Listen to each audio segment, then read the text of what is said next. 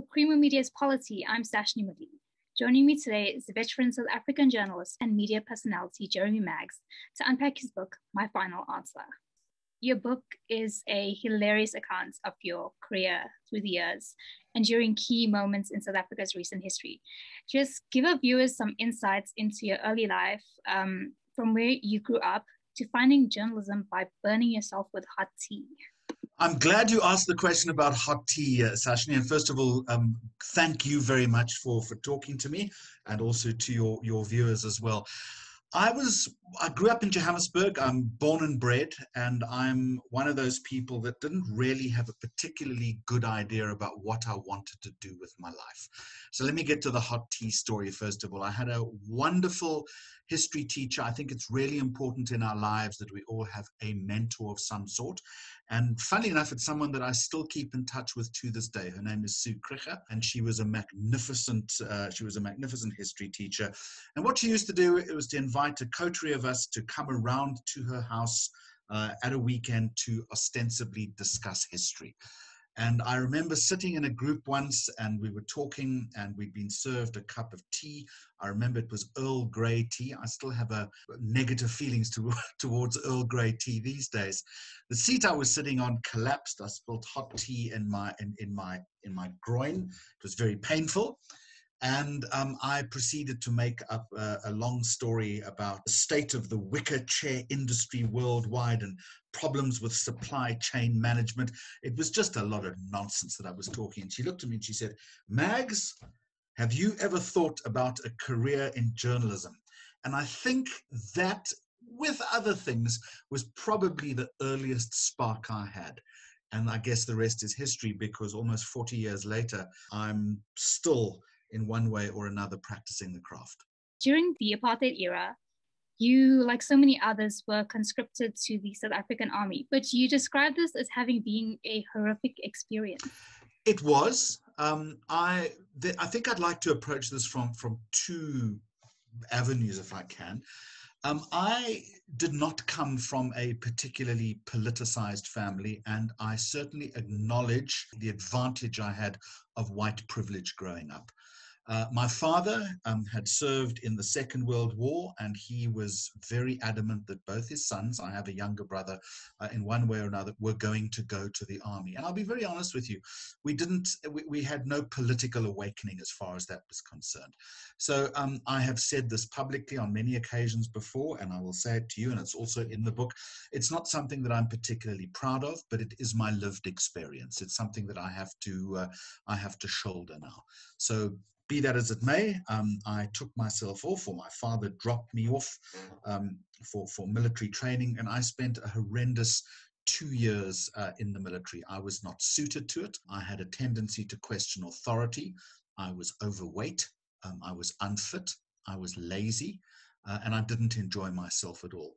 I guess the reality was is that uh, it was it was who I am. Uh, whether it shaped me or not, I don't think so. I hope not. It's something that I hope I have written about in the book with a, a degree of honesty, but I've also tried uh, to look for the humorous side in the whole process as well, as I do with many other chapters in my life. Tell us about how math failed you during your time at the Eastern Province Herald when you had to tally the A's from all the metro schools um, during the release of the matric results? One of the reasons why so many of us, and I, I don't know about you, uh, end up in uh, in journalism is because we really are rubbish at maths. Through a process, I ended up on the Eastern Province Herald, as it was then in the mid 1980s. It's now the Herald uh, in the in the in the Nelson Mandela Bay Metro. And uh, one of the first jobs I was tasked with um, was to tally up the distinctions for the matric results at the end of the year. Now you have to understand that this was long before matric results were available online. So what used to happen was that uh, people started gathering outside newspaper house at uh, 11, 12 o'clock, waiting for the first edition to come off the presses. My job, uh, I had one job, uh, is that I had to tally up the distinctions from all the schools, but there was always a rivalry between two main schools. One was Theodore Herzl, the other was Grey. And uh, you'll have to read in the book um, which school came out top every year. But suffice it to say, I tallied these things up. It was simple arithmetic, and I got it wrong. I got it badly wrong. And I remember walking into the newsroom the next day, and the assistant editor, a curmudgeonly old man, looked at me. He was sitting at my desk. And if memory serves correctly, he had a calculator which he threw at me. I then had to make amends. However, having done that, uh, it was a useful lesson for young journalists, I think, because we don't pay attention to the smallest details sometimes. And what I've tried to do in this book is I've tried to make it uh, an amusing, self deprecating journey through a very privileged and, and, and, and magnificent magnificently privileged career. Uh, I've been very lucky to be where I am. But what I've also tried to do is for, for younger journalists, as I guess I start to approach uh, the, the end zone as far as my journalism career is concerned, is to impart some knowledge. And my advice in that particular account that, that I give is one, you've got to concentrate on the small stuff. And the other thing is, if you're involved in a news story, the same person, uh, his name was John Edmonds, also said the first thing that happens with a big story is note the time. And that's something I've always done in my life. So if, if, it's a big story, whether I've been on the scene of an accident, if I've arrived at the scene of a murder, if it's been a big political story, first thing I've always done, quick look at the wristwatch. What time am I there? And what time is the story taking place around? And I think that was a very useful lesson. You would ask me if my mathematics has improved over the years. The answer is no. And you met your wife, Anne, in the newsroom. Can you just tell us about your rivalry, uh, which eventually turned into love? I'm a fairly competitive person. I always have been in all my life. I'm not obsessively competitive, but I'm a competitive guy. So was Anne. Um, Anne um, was uh, a couple of months ahead of me on the junior rung at the Eastern Province Herald at, at, uh, at the time. And there was one night where we had to, uh, we were both working on a, if memory serves, it was a Friday night. Uh, we were both on the late shift. Uh, and a particularly gruesome murder occurred in an outside area uh, called Bluewater Bay. I was immediately dispatched uh, to the scene of the crime. Anne was back in the newsroom. She was working the story, working the phones, trying to get as much information as we could. I procured as much information as I could at the crime scene. She got all the stuff that she needed. And now we sat down and we wrote the story beautifully, came together very, very quickly. However, one of the things that print newspaper journalists always uh, guard very uh, jealously is their byline. So I immediately wrote by Jeremy Maggs and Anne Rogers. And Anne changed it. She looked at me, she said, That ain't happening. I did more work. She changed it to by Anne Rogers and Jeremy Maggs and we proceeded to have a fight in the newsroom. It's late on a Friday night now. I want you to understand that outside Newspaper House at the time, trucks are revving, waiting for the newspapers to be loaded as one more story has got to come off the printing presses. And eventually, the chief sub editor or the night editor looked at both of us and took both our names off and put Herald reporters. From that moment, um, I think Anne and I both knew that we had a connection and we have been married for coming up 35 years. It's been a long time. And I salute her for putting up with me. Um, moving away from print, in your book, when asked to choose between television and radio, you say that you prefer radio. Can you just tell our viewers why? You know, it's it's a it's a funny thing. I've been very privileged. I have been I've worked for a lot of frontline radio stations in South Africa. I started my career on uh, Talk Radio 702. I've worked for SAFM. I've worked for Power FM. And I love the intimacy of the microphone. I love the fact that uh, there's an old cliche about radio being theater of the mind. I've heard it so many times before, but I cannot find a better cliche. It's you in control of your own language, you're setting the story, you're managing the narrative. In many ways, you're in charge of the process. And uh, it is a one on one relationship between you and the listener. And I think if I have to default, radio will always be my first love. But I think I also make the point in the book that there is nothing more exciting than being a television anchor um, on a big story uh, that is breaking, whether it be a political story, a crime story, whatever the case is, and you're sitting behind that anchor desk and there's that flurry of activity that is happening, and you are uh, you're not necessarily in charge because television has so many different component parts, but the fact is that you're holding it all together. You're like the conductor of an orchestra or the captain on a big aeroplane and, and, and you're flying this thing. And that's where television also gives me a thrill. But if you're forcing me into a corner and saying, what is my favorite? Sashni, I've got to say that um, I, I will always default to radio. And you also say in the book that there is far too much dependence on the PR industry right now. And you actually dabbled in what some journalists would call the dark side. Listen, I, I think that there is dependence on the public relations industry, and I'm going to shoot myself in the foot here slightly because uh, soon after writing the book, um, I took a career decision to leave broadcasting. What have I done? Well, if you want to call it the dark arts, Ashley, you're very welcome to call it that. Um, but I have entered the world of, uh, of public relations and reputation management. I formed a new company called Bold.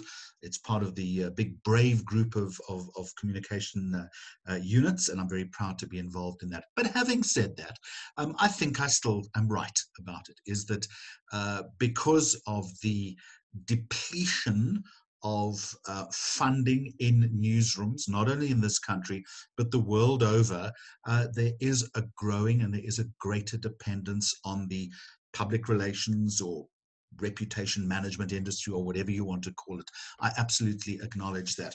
Um, from where I sit right now as I talk to you, I'm quite happy that that is happening. But if I take a more dispassionate view of it, I would urge the media industry to be aware of it, to be aware of the power and the influence uh, that the uh, that the public relations industry wields, and that they need to be judicious in the way in which they deal with that industry. It always uh, horrifies me when I see a news release uh, that has been put out, and all of a sudden uh, it is repeated verbatim on the front page of a newspaper, for instance, or on a website. I think that's a dangerous thing. So I, am hoping, while as you say, I have crossed to the other side, I, I am also hoping that there is uh, that people in the journalism side of this equation are um, are more cognizant of it and understand the unspoken rules. You finally got to interview former President Thabo Mbeki after six straight hours on air, um, reporting on Nelson Mandela's death. What was the Mbeki interview like for you? Madiba had passed away, and I had, along with my dear, dear colleague, and I call her my television wife, Iman Rappetti, who's also written the forward to, to the book. We had worked from three hoppers three in the morning and we took the broadcast through until about uh, nine ten o'clock that day and it was it was it was sobering it was upsetting but it was also joyful in many ways so many people were coming into the station and paying tribute to, to Nelson Mandela. But eventually, you know, our our, our broadcast uh, uh, stint ended, and then we were told that um, former President uh, Mbeki was uh, ready to uh, uh, ready to talk to us. We had put the request in a little bit earlier, and I remember arriving at at his uh, at his home here in Johannesburg, and I was struck by two things. One was there was a big display cabinet behind him uh, that contained a lot of very expensive, I assume, Cuban cigars. Um, I am not a smoker. Uh, but I have been known from time to time uh, to accept a Cuban cigar. And I wondered to myself, there's so many here, might he offer me a Cuban cigar? But he didn't. But having said that, the interview got off to a very bad start because I started the interview by referencing a comment that he'd made when he took over from Nelson Mandela as president of our country and someone had asked him whether he had uh, big shoes to fill, and Mbeki made a, a remark about uh, Mandela's ugly shoes and his shoes were always nicer, or something along those lines. And I thought I'd start the interview with that line, um, and it didn't go down well. Um, I had to skate very quickly to the next question. You also interviewed President Cyril Ramaphosa when he was ANC deputy president. What was your impression of him and what was that one question that you wished you had asked him so uh, it's a, again um, i've tried in this book uh, to be as honest as i can uh, about the mistakes that i've made because journalism uh, and particularly broadcast journalism is uh, a medium that moves very quickly, and uh, you're always constrained by time. And this was after he after the Mangaung conference, uh, where President uh, Zuma had been elected for a second term. President Ramaphosa, as he is now, had become deputy. Uh, again, we'd had a long, hard, hot conference uh, in uh, in Bloemfontein, and uh, at the very last minute, we were told that the then deputy president Cyril Ramaphosa was ready for. Um, ready to be interviewed. Um, we were given, I think, 10 minutes.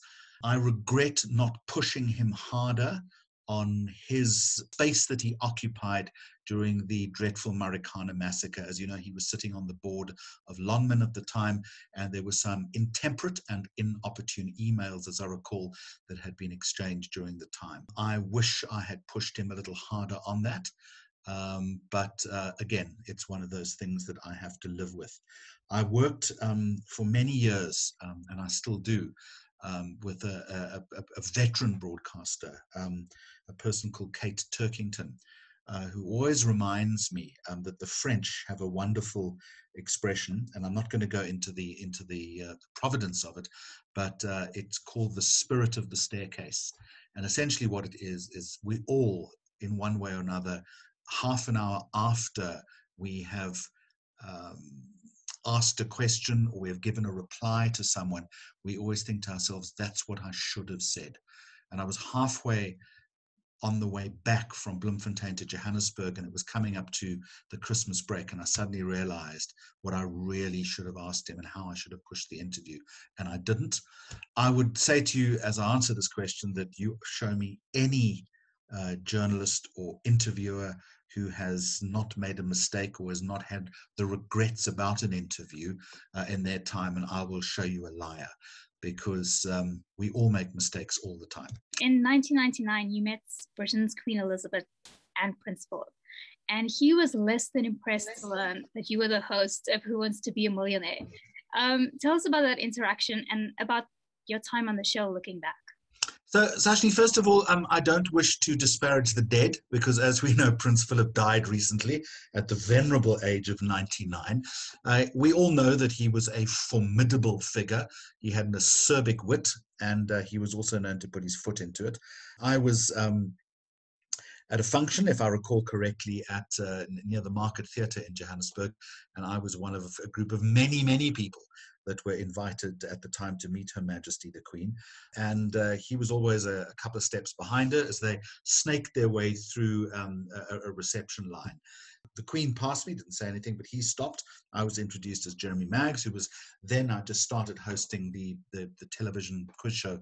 Uh, who wants to be a millionaire? And I made some remark to him about you know your man your your your highness your royal highness do you like it and he was very sharp. Um, the exact words, well, you're going to have to read those in the book. Suffice it to say, he was not a fan of the show. And then he proceeded to ask me an impossibly complicated question about government environmental policy, which I seem to remember stumbling my way through, perspiring like anything, and wished I wasn't there. Having said that, though, um, I was very fortunate uh, to have hosted Who Wants to Be a Millionaire for just over 100 episodes, as I recall, um, in its time. And we're talking a long time ago, we're talking 20 years ago. At its time, it was, uh, it was successful because there wasn't a quiz show on television at the time. And I also make the point in the book that um, the secret of its success was uh, something that one of the British producers of the program told me. It was a thing called shoutability um, is that we were all sitting around uh, our television sets watching it, and if you knew the answer at home, uh, you would be able to uh, shout the answer out, and then you would feel the pain uh, as the other person um, either got the question wrong or the joy when they got it right, because the money ladder was fairly steep. I had a wonderful time doing it. Um, it's um, certainly changed my life. I was, uh, you know, very much a you know, a, a dyed in the wool print journalist at the time I, and radio journalist. And all of a sudden, you know, I was hosting this big show. Um, I have my, the show's executive producer, Anant Singh, uh, to thank for that. Um, Anant remains a, a, dear and close friend of mine to this day. Uh, he was the, the producer of, of, of, the Mandela biopic, um, Long Walk to Freedom. We stay in touch. It was a great time. Uh, I wish there were more quiz shows on television. Uh, they're not enough because um, I think the general knowledge is uh, is a critical factor of just being a well-rounded person. We need more quiz shows. And Jeremy, you put emphasis um, on emotional assistance for journalists, including mental health. Why is this so important? When I started out, um, and I think this is a very important question, and, and, and thank you for honing in on that. When I started out um, all those years ago, journalism, particularly in the height of the death throes of apartheid uh, in the late 80s, um, it was a it was a gung ho profession. Uh, you had um, people that uh, uh, journalists, um, and I'm only answering this question from a journalism perspective. Um, you had journalists who were putting their lives in danger every single day, being exposed to the most awful trauma, and there was little help at the time. The expectation was that you would do the story, you would come back, you'd either broadcast it or you would write it, uh, and then a lot of journalists either sunk into the uh, the oblivion of, of drugs or alcohol. I know people now and people then who did that. These days, I think things have changed slightly. I think there is more cognizance of the importance of mental health and mental health management for journalists. Um, I'm not sure there's enough. I think that newsrooms need to be a lot more empathetic in that respect and understand the enormous stresses and strains on journalists that are in the field and are often to this day putting their their lives on the line. I think a lot more work needs to be done on, in that respect. Uh, I think it's changing, but I don't think it's changing quick enough. And lastly, given the times that we live in, um, including the impact of social media, are you optimistic about the future of South African media? I'm very optimistic about the, the future of South African media. I've made the point, uh, I think, in the book and uh, on a, on a couple of on a couple of other occasions, uh, that Press freedom is something to be cherished. Uh, it is it is it is something that is fragile, that can be broken or bent very easily, and we all have a responsibility to guard it with our lives. It's always going to be challenged in in the in the in the 80s and 90s when when I was maybe at the height of my newspaper career. It was challenged then. It continues to be challenged now. I think it's up to all all of us uh, to understand the privilege that we have as journalists, that we have to guard that independence as fiercely as possible, uh, to try and speak out uh, when there is a problem in that respect, and uh, to support each other. And I think that I'm, I'm very optimistic. You ask about social media. Um, I'm anxious and nervous about social media. I worry about the propensity of social media uh, to uh, to spread false and fake news and I think a lot of people get taken in by that. Um, I would I believe that we that we need to be very judicious and very careful when it comes to social media management. Although these days there's nothing we can do to change that the the trajectory. Um, social media has for all of us in many ways become a de facto first source of news. But I worry that it is open to abuse. But broadly, I am confident, positive, optimistic about South African media. We have some fine titles doing some really hard work in their respective spaces, yours included.